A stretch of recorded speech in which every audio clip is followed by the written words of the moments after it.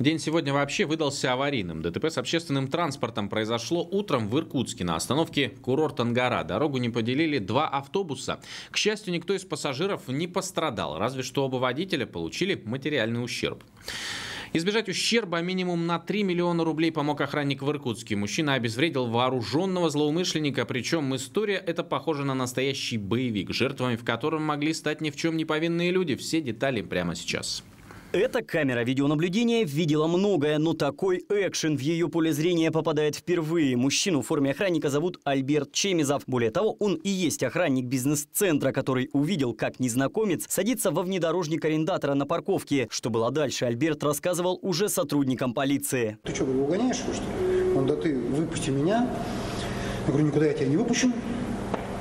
Ну, все, он говорит, ты меня все равно выпустишь, и достал нож и начал, значит, нападать на меня с ножом. Незнакомец с ножом попытался догнать охранника. Не получилось. Больше минуты они бегали по парковке. Один атаковал, второй защищался. Неизвестно, чем бы все кончилось, если бы спустя мгновение в криминальной истории не появился третий герой. Точнее, героиня. Я сел заходить в лифт, а оттуда бабушка выходит. Помощь пришла, оказывается. Вот. Ну, значит, мы с бабушкой заскочили обратно в лифт, и он тоже в лифт.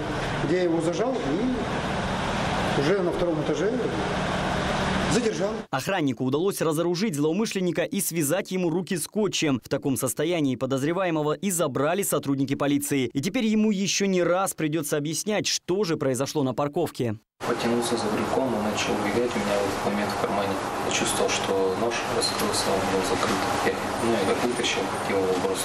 В этой истории есть еще одно действующее лицо. Подельник угонщика, его также задержали. Правда, на поверку мужчина оказался немногословным. Что можете пояснить по обстоятельствам случившегося?